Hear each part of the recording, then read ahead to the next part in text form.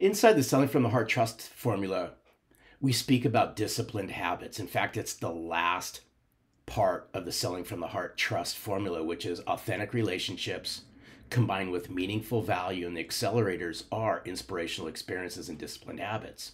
And when I think of disciplined habits, I think of one word, and that one word is consistency. When I think of consistency, I think of my friend Jim Packard. And Jim Packard and his friend George Campbell, they co authored a book.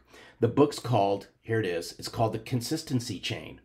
It's an insanely simple plan to create daily victories and generate lifelong success. Inside Selling from the Heart, it's about consistency.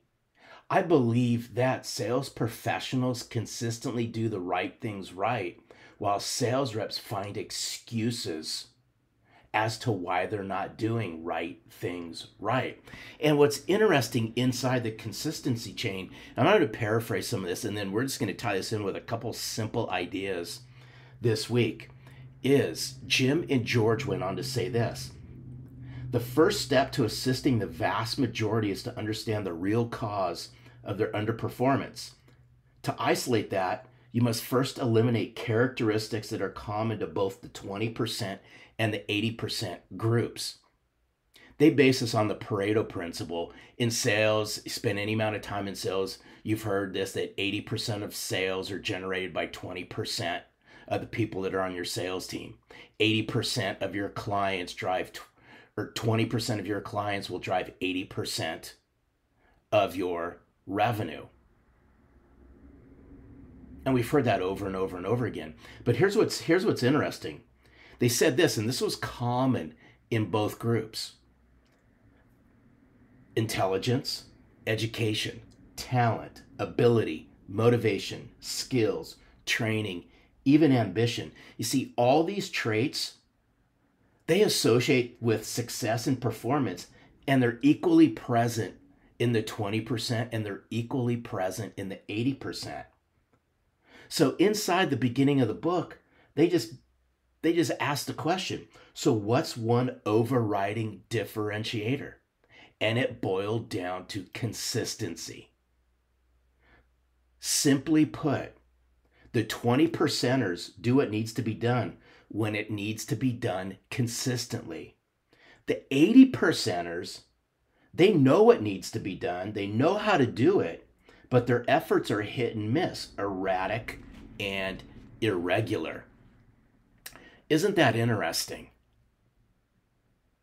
And this week, what I'd like for you to think about, especially when it comes to consistency, and again, I believe this, this is my opinion. We have over, and I mean over complicated sales. We have tech stack sales to death. We have automated sales to death.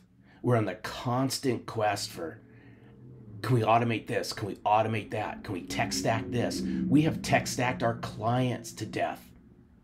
But here's what's interesting have we made it simple or have we made it more complicated for salespeople to hit and overachieve their quota? I'm going to leave that totally up to you. But here's what I'd like for us to think about this week when it comes to consistency. And I'm speaking to the 80 percenters here let's break this down and let's create some simple things to do this week. How about when it comes to prospecting? I'll give you one idea. What's one new conversation I can start every single day?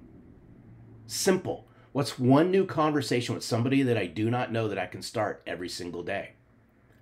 What's one new person inside my client base that I do not know that I can meet every single day? What's one new appointment I can set somewhere on my calendar within a two week period every single day? You see, small, simple steps like I just outlined, consistently done over time, adds up. Let's just take what I just outlined, those three things if you simply started one new conversation every single day and you did that consistently for a month and you did that Monday through Friday, that's five a week. That's 20 a month. 20 a month, month in, month out. That's 240 new conversations you will have started every year, right? If you if you follow this, if you just do one new conversation every day. Let's say you find out one new person to speak to inside your client base that you didn't know before, and you do that every single day. It's the same amount. That's 240 new people you have met in a year inside your client base. Let's break this down even more. Let's just take that one new appointment. Let's say you do one, you set up one new appointment somewhere on your calendar and you do it in a two week period, but you do this every single day. Again, you're setting up one new appointment. It's not five, it's not 10, it's just one. That's 240 new appointments. People, just by doing three simple things, they're basic. It's one. I'm just asking you to do one thing.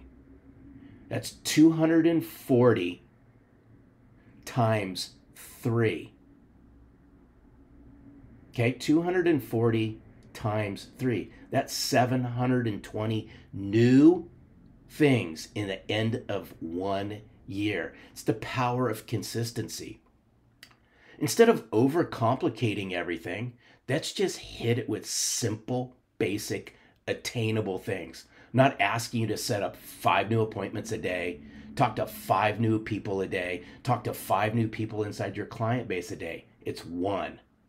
Do one thing, those three things, every single day Try it for the next 30 days and watch what happens. It's the power of consistency. Just consistently do those three things. I promise you this over the course of 90 days, you will have more business right now in your sales funnel than you possibly have right now. It's the power of consistency and it's the power of disciplined habits. Let me know what you think. I sincerely appreciate each and every one of you. Together, we have been building this movement. We call it selling from the heart. It's about bringing deep sincerity and deep business substance to your clients and your future clients and out in the marketplace. Because I do know this, and it's sorely lacking out there. Your clients and your future clients, they'd rather connect and do business with a sales professional who sells from the heart as opposed to a sales rep who is an empty suit. Have an amazing week.